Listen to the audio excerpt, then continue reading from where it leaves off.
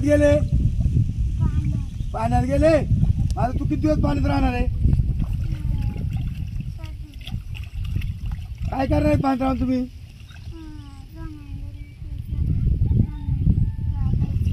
म्हणजे जमीन दिल्याशिवाय पाणी तुम्ही बाहेर नाही निघणार. हा?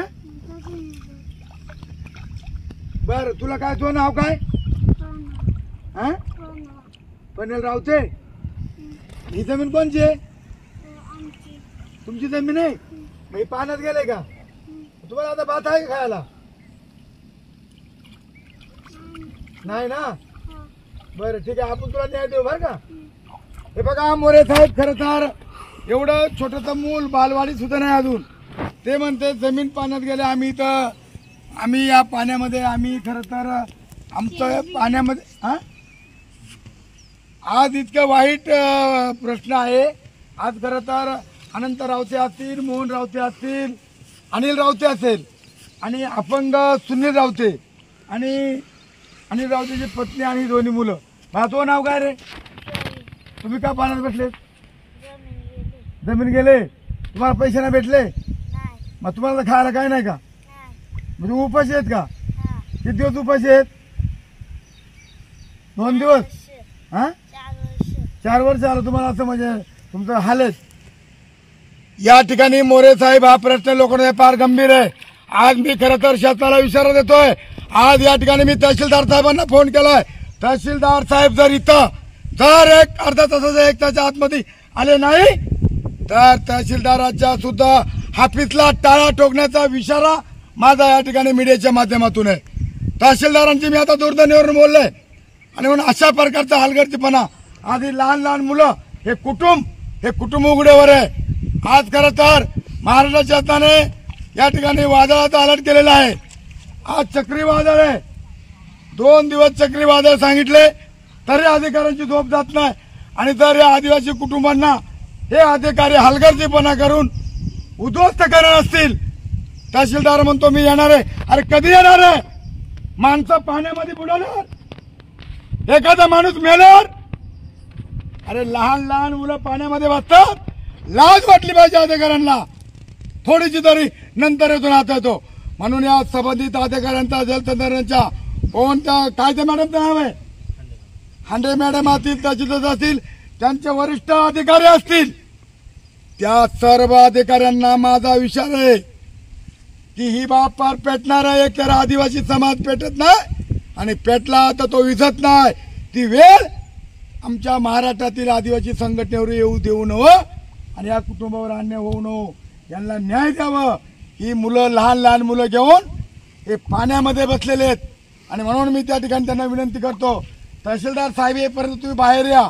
तहसीलदार साहेब आल्यानंतर आपण त्यांना विचारू आणि त्याच्यानंतर आपण तर पुढचा निर्णय घेऊ.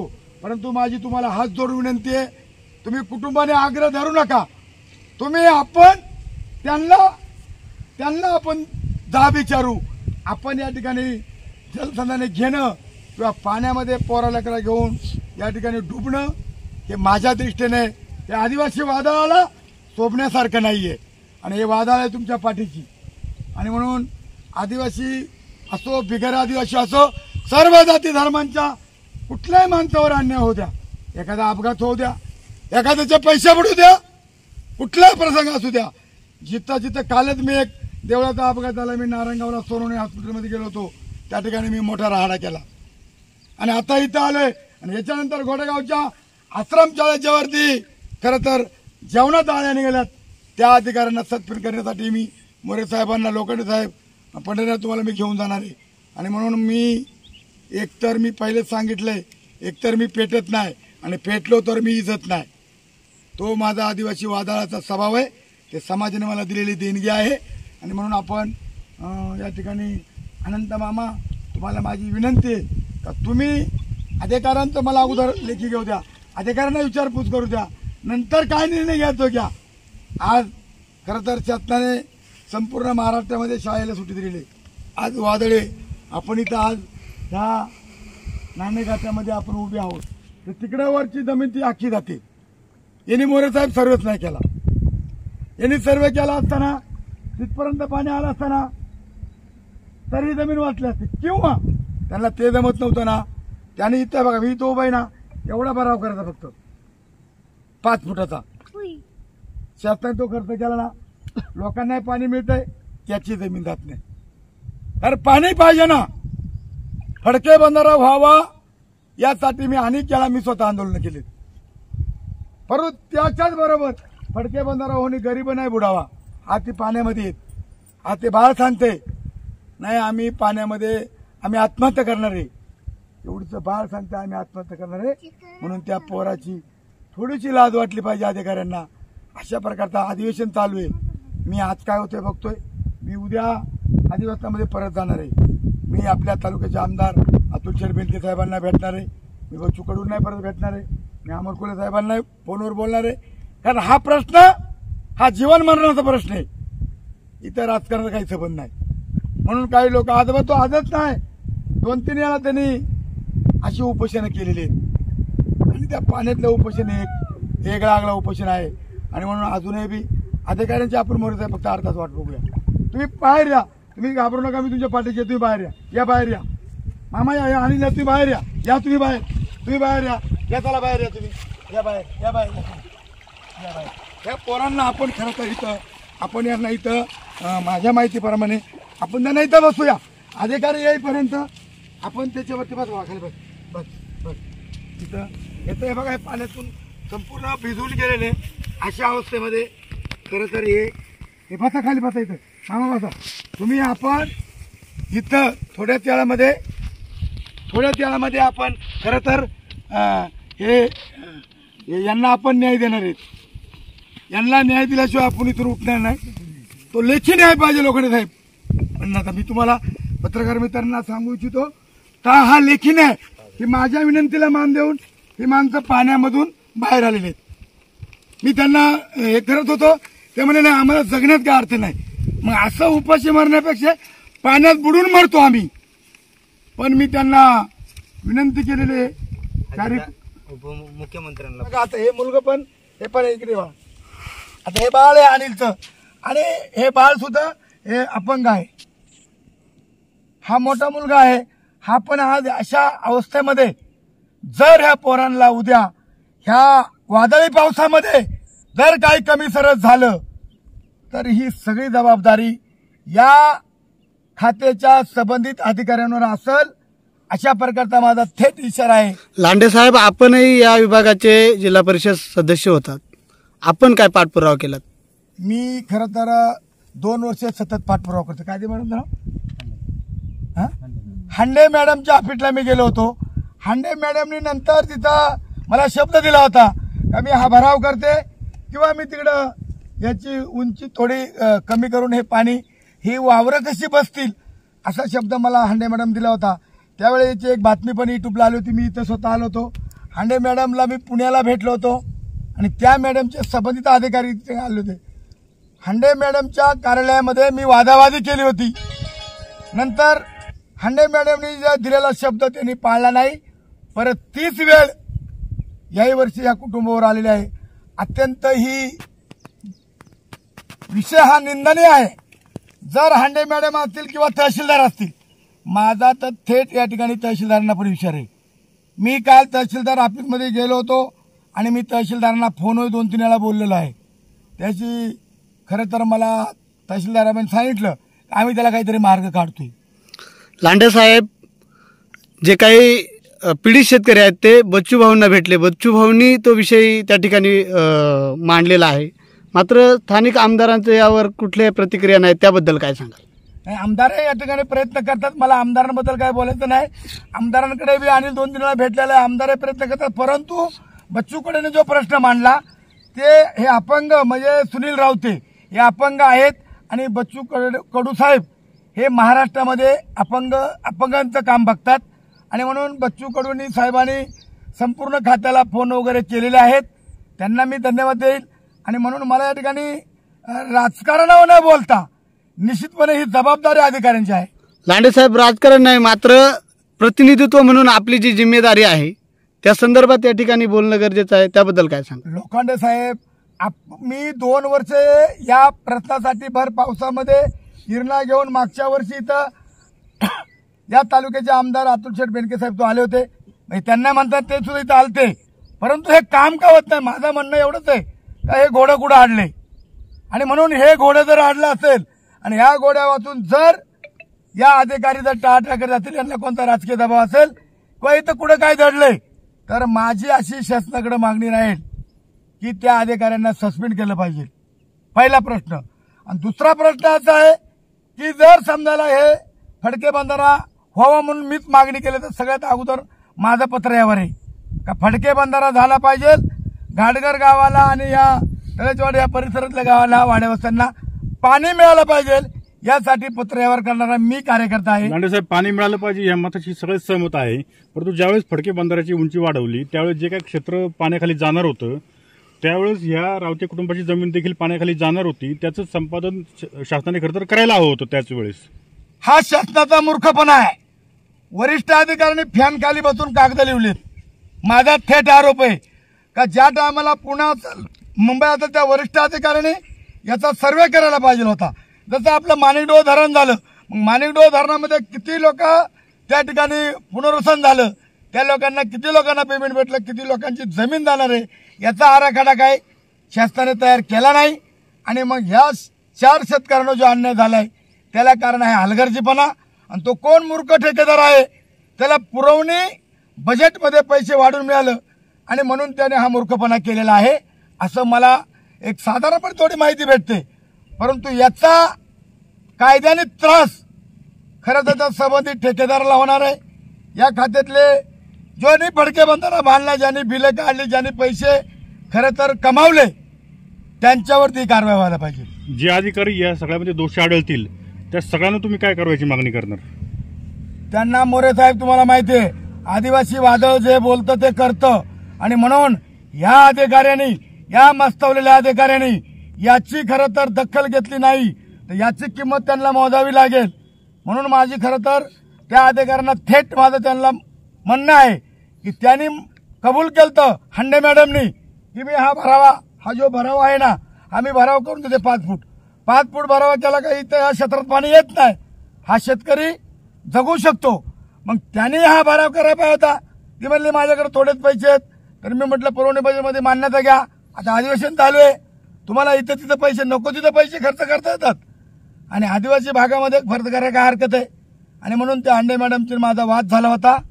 त्या संबंधित अधिकाऱ्यांची माझा फोनवर सारखा वाद होतोय. काल मी तहसीलदार साहेबांना बोललो होतो. तहसीलदार साहेब आता थोड्याच वेळा म्हणे इथे पोहोचणार आहेत. तहसीलदार येणार आहेत. अनिल रावते यांनी निवेदन दिल्यामुळं जुन्नर तालुक्यातली सरकारी यंत्रणं आत्तापर्यंत पोचली नाही. याची सुद्धा मला खंत आहे. खरं तर कालला निवेदन दिले. हे सकाळी उपोषणला बसूच न हो असा प्रयत्न खरं तर तहसीलदाराने करायला पाहिजे होता. त्यांचा समजता करायला पाहिजे होता. कारण ही लहान लहान मुलं आहेत.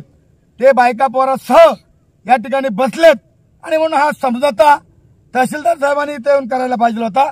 का जर आज अशा भर वादळी पावसाच्या इशाऱ्यामध्ये सुद्धा ही पोरा लेकरं घेऊन हे दोघे भाऊ इथं आता बसलेत याचं खरं तर ही लाजीरवाणी गोष्ट वाटते. मोरे साहेब लोखंडे साहेब पंढरी तुम्ही चौघाही पत्रकार या ठिकाणी आहात.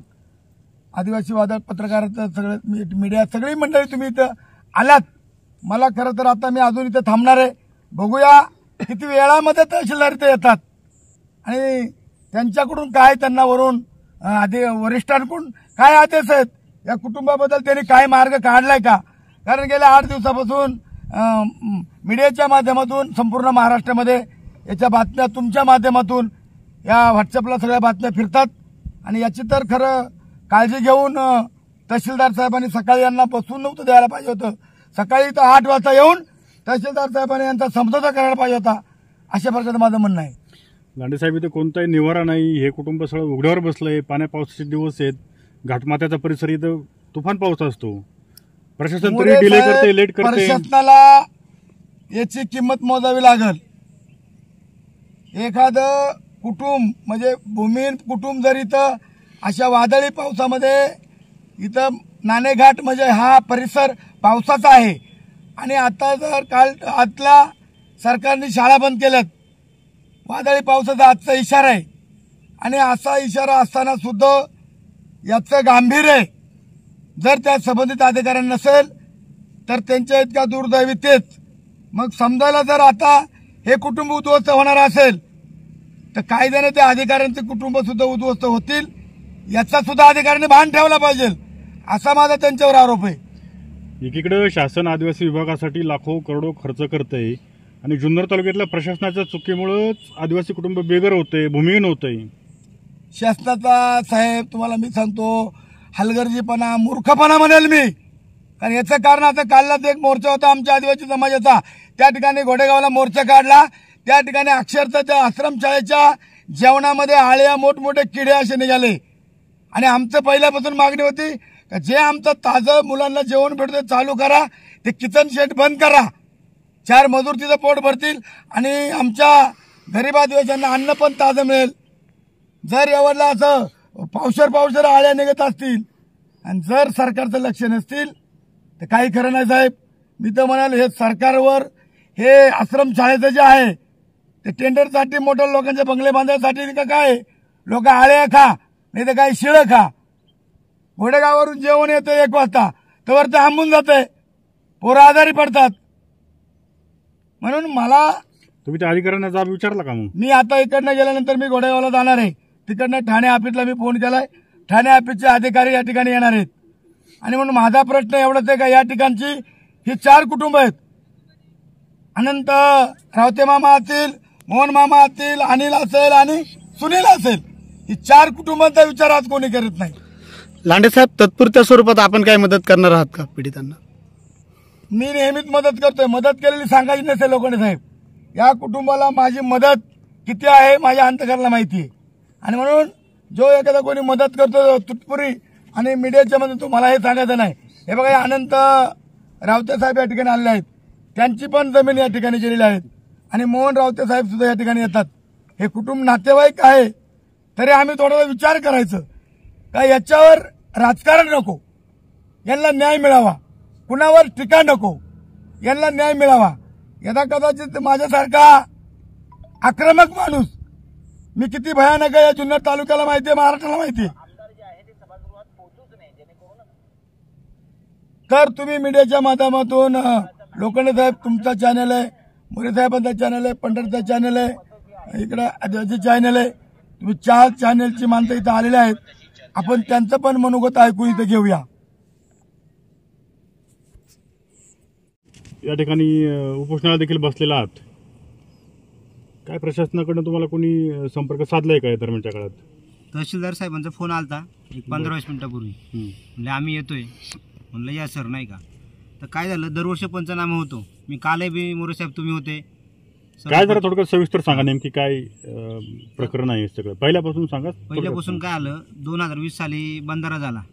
बंदर हा पूर्वीपासून होता त्याची उंची दोन हजार वीस ला वाढवली. दोन हजार वीस ला उंची वाढवली म्हणजे नंतर उंची वाढवण्याच्या अगोदर तुमच्या जमिनीत पाणी आमच्याकडनं येत नोटीस नव्हतं आम्हाला चारही शेतकऱ्यांना.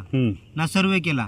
काय नोटिसामध्ये काय उल्लेख केला नाही होता? नोटीस दिलाच नाही. बरं. सर्वे केला ना नोटीस दिला. जर नोटीस दिला असता सर्वे झाला असता तर आम्ही ही वेळ आमच्यावर आली नसती. म्हणजे उंची वाढवताना त्या शासनाने कोणताही विचार केला नाही नाही. नाही, कोणता विचार केला नाही. जलसंधारणचं म्हणणं काय आहे? दोन हजार वीस पूर्वी तुमच्या जमिनीमध्ये पाणी येत नव्हतं नव्हतं नव्हतं हं. त्यांचं म्हणणं असं आलं. का ग्रामपंचायतने आम्हाला ठराव दिला. का सदर जमीन ही शासकीय आहे आणि कुणाची जमीन त्यात जात नाही हं. मी तर म्हणलं आता ते मागचं झालं ग्रामपंचायतने केलं ते त्यांचं त्यांचं. पण जलसंधारणनी पूर्वकल्पना आम्हाला द्यावा लागत होती आता मागचं जाऊ द्या पण इथनं पुढं आता गेले चार वर्षे आम्ही पाठपुरावा मी करतोय पार तहसीलदार मुळात तो सर्वे झाला नाही ही शासनाची मोठी चूक आहे सगळ्यात मोठी चूक नाही खेळा. चूक बारीक असते याच्यामध्ये तुमची नव्वद टक्के जमीन बाधित झाली की काय उरली तुम्हाला नाही थोडीफार नाही काय उरले तर तुम्ही उरलीच नाही म्हणजे तो जमीन ना. खडकच उरलाय आता खडकच. उरलाय हम्म. जी भात खाचर होती हम्म. मोठमोठी एक एक दोन दोन एकराची ती भात खाचर गेलेली आहेत. आता तुम्हाला सांगतो मी पूर्ण पत्रेवर केलेलं आहे. पर तहसीलदार साहेबांपासून तर मंत्री दोन हजार मोदी वीस ला तुम्ही पत्रव्यवहार सुरू केला झाल्यानंतर त्यानंतर काय प्रक्रिया झाली पुढे नाही ना काहीच नाही ना ते पारून या ना इकडे प्रक्रिया काहीच झाली नाही मग शासकीय अधिकारी कोणी आलं किंवा तुमचे म्हणणं जलसंधारणचे समजून- अधिकारी यायचे हं. बघून जायचे दरवर्षी म्हणायचे एप्रिलमध्ये आपण भराव करून देऊ मे मध्ये करू नाही नाही भराव ही बाब नंतरची आहे ना हा. पहिलं तुमचं जे क्षेत्र पाण्याखाली गेले त्याचा सर्वे होऊन त्याचा मोबदला तुम्हाला मिळायला पाहिजे होता त्यांचं ना म्हणणं नेहमी काय आलं तुम्ही तुमच्या जमिनीची मोजणी करा.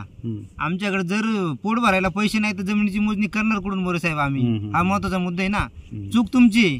म्हणजे पूर्वापार तुम्ही ही वावर जी आहे ती कसं होते पूर्वापार वडील पारची जमीन आहे आज तिसरी पिढी आहे माझी हम्म, हम्म, हम्म. ती अं, आजोबा हे करत होते वडील आता हे आम्ही हे करतोय. असं तर माझं म्हणणं एवढंच आहे का शासनाच्या माध्यमातून आम्हाला न्याय भेटतो. शासनाकडून काय तुम्हाला मदत दरवर्षी किंवा कोणत्या स्वरूपात नाही नाही रोख कुठलीच स्वरूपात? मदत भेटली नाही आजपर्यंत रोख स्वरूपात देखील नाही कुठली किंवा मदत अन्नधान्य भेटली स्वरूपात नाही. पण नाही आता लांडे साहेब अख्ख्या तालुक्याला माहिती आहे. का मी लांडे साहेबांचा भाच आहे. हम्म. तर त्यांनी काय मदत केली काय नाही ते माझं मला माहिती शेवटी लांडे साहेबांचा आमच्यावरती हा ते तुमचा कौटुंबिक विषय समजा कौटुंबिक त्यांचा. विषय त्यांचा आमच्यावरती म्हणजे एक म, आई गेल्यानंतर आमचं त्यांच्यावरती बारीक लक्ष आहे. म्हणजे सगळ्याच गोष्टी. तर ते काय सांगायसारख्या नाही. त्यांनी म्हणजे खूप सहकार्य असते त्यांचं. वेळोवेळी आता सहकार्य पहिल्या. वेळेस तेच आले इथं ना. दुसरं कोण आलं? हम्म. शेवटी त्यामुळे माझं एवढं शासनाला म्हणणं आहे का तुम्ही आम्हाला जर हे केलं नाही तुम्ही कालही पण सांगितले. जेल समाधी नाही तर आत्महत्या. तहसीलदार साहेबांचं काय म्हणणं आलं मग? तहसीलदार साहेब म्हटले मी येतोय तिथं. फोन आला होता. नाही नाही येतो ही झाली आजची गोष्ट. यापूर्वी त्यांनी काय तुम्हाला आता दरवर्षी त्यांनी पंचनामे केले पण पंचनामा करून पुढे काही फायदाच झाला नाही ना. हम्म. पंचनामा करून पुढे काही भेटलंच नाही. म्हणजे चार वर्ष तुम्ही सातत्यानं सातत्यानं शासनाशी पाठपुरावा करतोय असे. पूर्ण फाईल आहे माझ्याकडे. हम्म. मी पाठपुरावा करतोय. मुख्यमंत्र्यांना सुद्धा अं, पत्रव्यवहार केलेला आहे. बच्चू भाऊंकडे कोणी संपर्क साधला होता? बच्चू बच्चू भाऊ हा माझा भाऊ आहे अपंग ऐंशी टक्के. बर बर. ऐंशी टक्के अपंग आहे. त्यांचं नाव काय? सुनील रावते. सुनील भाऊ नमस्कार. नमस्कार. तुम्ही गेला होतात बच्चू भाऊंकडे? हो, मी गेलो होतो. हो, ऑफिस आहे आपल्या जुन्नरमध्ये. बर. त्यांच्याकडे गेलो होतो. अच्छा म्हणजे इथली जी संघटना आहे स्थानिक संघटना त्यांच्या माध्यमातून? तुम्ही गेलात? हो. मग काय त्यांचं काय? माहीत हो तुम्हाला. हो. त्यांच्याकडे गेलो होतो. बर मग त्यांनी बच्चू भाऊंना फोन लावून दिला. हो ते त्यांच्या कानावर आम्ही विषय आम्ही घातला. दोघे भाऊ गेलो फाईल घेऊन. हम्म. ते म्हटले बच्चे कडूला जाऊन भेटा काहीतरी होईल त्यांच्याकडनं. हम्म. तेव्हा गेलो. मग तुमची कुठे भेट झाली बच्चू भाऊंसोबत अं, मी नव्हतो गेलो भाऊ गेलो. भाऊ गेलता. कुठे भेट झाली तुमची? मी- मंत्रालयामध्ये. लांडे साहेबांच्या गाडीमध्ये गेलो. माझ्याकडे तिकटीला सुद्धा पैसे नव्हते खर्चाला जायला ट्रॅव्हलिंगसाठी हम्म. लांडे साहेबांचं काम होतं मंत्रालयामध्ये म्हणलं मामा मला येऊ द्या. हम्म. मला यायचंय. मग त्यांच्याबरोबर मी गेलो आणि साहेबांना भेटलो. हम्म. साहेबांनी हे केलं खाली तहसीलदार साहेबांना फोन केला हे ते. तेव्हापासून थोडं हे झालं. असं. म्हणजे तिथून पुढे थोडी चालचाल. सुरू झाली. मग इथल्या आपल्या स्थानिक आमदारांच्या कानावर तुम्ही काय नाही विषय घातला आमदार? साहेबांना माहिती आहे ना मी आमदार साहेबांचाच कार्यकर्ते अख्ख्या तालुक्याला माहिती. मग आमदार साहेबांचा कार्यकर्ता असूनही तुम्हाला न्याय मिळत नाही. मी अं, आमदार साहेबांनी जिल्हा परिषद गटाचं उपाध्यक्षपद आणि घाटगरगावचा पेशा अध्यक्ष मी. अहो पण मग तुम्हाला तर पहिला न्याय मिळायला हवा होता ना. आता आमदार साहेबांनी त्यांच्या परीने प्रयत्न खूप केले. आता जर कुठं अडचण येत असेल आता मला अं, शेवटी शेवटी तुमच्या कुटुंबाचा प्रश्न आहे तुमच्या उदरनिर्वाहाचा प्रश्न आहे. हा तातडीने सुटला पाहिजे होता मोरे. साहेब तुमचं बरोबर आहे पण आता आमदार साहेबांना मी खूपदा सांगितलं का साहेब बघा काहीतरी हे करा. आता त्यांनाही शेवटी आता त्यांनाही दोष देऊन काय फायदा नाही ना.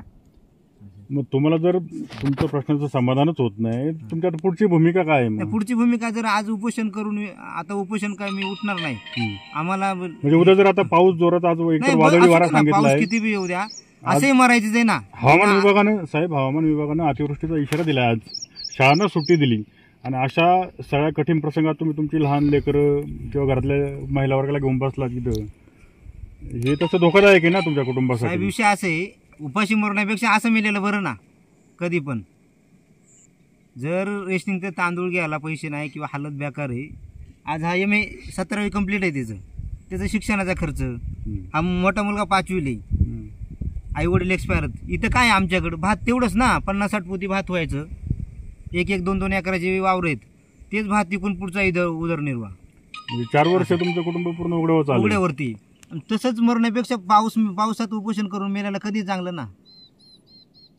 लांडे साहेब कुटुंब हातबल झालेलं आहे. म्हणजे अगदी पार शेवटच्या निर्णयापर्यंत आलेलं आहे की असं मरण्यापेक्षा मग उपाशी मरण्यापेक्षा इथं मरू ना असं. म्हणजे हे खूप दुर्दैवी आहे. मोरे साहेब ही घटना दुर्दैवीच आहे. निंदनीय आहे परंतु आता आपण इथं आता हे हे वादळ हटणार नाही. याला न्यायच मिळणार. नाहीतर अधिकाऱ्यांची आम्हाला दारकोण करावं लागेल. जसं हे कुटुंब पाण्यामध्ये आहे तसं अधिकाऱ्यांना सुद्धा कुठली भूमिका घ्यायची? अशा प्रकारचं आता आमच्या पण संघटनेची मिटिंग आता मी चार वाजता लावले या संदर्भात. म्हणजे ही आमची एक मोठ्या प्रमाणामध्ये संघर्ष करणारी संघटना आहे. मग त्यामध्ये सर्व प्रकारच्या संघटना असतील बिरसा ब्रिगेड असेल आमचे एस एफ आय असेल या सर्व संघटनांना मी विश्वासात घेऊन ही आम्ही आता भूमिका एक वेगळ्या पद्धतीने म्हणजे बाबासाहेबांनी सांगितलं शिका संघटित व्हा आणि संघर्ष करा. तर बाबासाहेबांचा आदर्श घेऊन खरं तर एका गरीब कुटुंबावर आणण्यामध्ये जरी माझे नातेवाईक असतील. तरी नातेवाईक विराहित एक हे कुटुंब उद्ध्वस्त होते. त्यासाठी सर्व समाजातील सर्व थरातील संघटनांना विश्वासात घेऊन या अधिकाऱ्यांना धडपकड मोर्चा काढावा लागेल व यांच्या हाफीतला टाळा ठोकावा लागेल. तेव्हाच या अधिकाऱ्यांची झोप उडेल असं मला आता जाणवते. अध्यक्ष साहेब खरं तर त्या कुटुंबाची सगळी आशा तुमच्याकडनं आहे. त्यांनी आता बोलून दाखवलं की घरातली करती माणसं गेल्यानंतर तुम्ही त्यांचा वेळोवेळी सांभाळ केला किंवा आधार दिला. आजही तुम्ही शाळेत पहिले आलात. आता कुठेतरी देवराम लांडेंनी ॲक्शन मोड येण्याची गरज आहे. नक्कीच. मोरे साहेब या ठिकाणी लोखंडे साहेब मी सांगलो पंढरीनाथ माझी या ठिकाणी स्पष्ट भूमिका आहे. का या ठिकाणी अधिकाऱ्याने अजूनही बी झोपेचं किंवा येडेचं सोंग घेऊ नये. त्यांनी ताबडतोब येऊन इथं मार्ग काढावा. आणि आता अधिवेशन चालू आहे. त्या अधिवेशनामध्ये वरिष्ठांची त्यांच्या वरिष्ठाची त्यांनी चर्चा करावी. आणि हे करता हवामानाने इशारा दिल्याप्रमाणे आज वादळ आहे. आणि या कुटुंबाचं त्यांनी सांत्वन करावं. यांना शब्द द्यावं. आणि अशा प्रकारचा वरिष्ठांकडून त्यांनी तसं लेखी घ्यावं. आणि त्या प्रकारचं त्यांना खरं तर न्याय देण्याचं काम करावं. अधिकारी खरं तर तहसीलदार म्हणजे हा तालुक्याचा पालक आहे. तहसीलदार म्हणजे हे मिनी कोर्ट आहे. आणि म्हणून तहसीलदार साहेबांना मी आता फोन करणार आहे. तहसीलदार साहेब किती वेळात येतात काय होतात बघतो. आणि हे कुटुंब आता ह्या वादळी पावसामधून यांना जीवदान द्यावं अशा प्रकारचं संबंधित अधिकाऱ्यांकडे मी तशा या ठिकाणी पी आय साहेब पण मला बोलले होते. मी पण येणार आहे. तशी पोलीस डिपार्टमेंटची पण थोडीशी जबाबदारी आहे कायदा आणि सुविधा. तर एखादा तहसीलदारांना आपण फोन लावा ना. साहेब कुटुंब इथं पावसाळ्यात बसलंय पावसात. लांडे साहेब पाठीमागे ढग भरून आलेत. पाऊस कोणत्या क्षणी इथं कोसळण्याची शक्यता आहे. आपण तातडीने प्रशासनाशी संपर्क करा. नाही लगेच लगेच लावतो ना, ना, ना.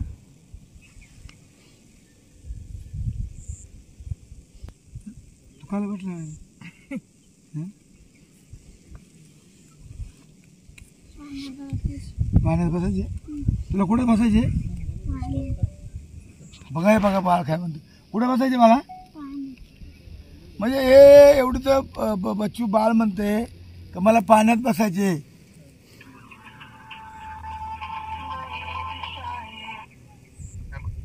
तहसीलदार साहेब अध्यक्ष बोलतोय. कुठे आहे सर तुम्ही? अहो काल मी तुम्हाला बोललो ऑफिसमध्ये साहेब. मी आता घाटघरला आलो आहे ते कुटुंब इथे पाण्यामध्ये पडले. आता इतर प- इथं खरं तर आता आज शासनाने शाळेला सुट्टी दिले. तर तुम्ही इथं आल्याच आपल्या कुटुंबाची विचारपूस करून मार्ग काढला असा ना साहेब? नाही ना मी इथं आहे पत्रकार आहे तिथं दोन चार. तर माझं काय म्हणत होतं सर का तो आता इथं आजचा दिवस फार खराब आहे. संपूर्ण महाराष्ट्राला शाळेने सुट्टी दिली. आणि तीन तीन वर्षाची मुलं घेऊन ते पाण्यामध्ये बसले तिथं तुम्हाला तसं त्यांनी लेखी तुम्हाला तुम्हाला सर त्यांनी लेखी लेखी कळवलंय तुम्ही इथं या आपण त्याला मार्ग काढू काहीतरी. हो भेट देऊन जातो मी. इरिगेशनचे नक्की केलंय. इरिगेशनला फोन करा. तुम्ही किती वेळ लागेल सर तुम्हाला याला मला अजून एक अं, तासभर लागेल. आता. नाही एवढा वेळ नका घेऊ सर. तुम्ही आता लगेच निघा. कारण आता पावसाचा आता पाऊस येण्याची शक्यता आता उघडलंय पण पाऊस आता भरून आलाय. तुम्ही येऊन जा इथं. आणि त्या इथनं आपण वर- वरिष्ठांना विचारपूस करू आणि त्या त्यांना काहीतरी मार्ग काढू आपण. या विभागाचा जिल्हा परिषद सदस्य नात्यानं माझी जबाबदारी आहे ना? आणि मी तुम्हाला आणि मी तुम्हाला काल बोललोय पण ना? मी ऑफिसमध्ये आलतो ना सर तुमच्याकडं.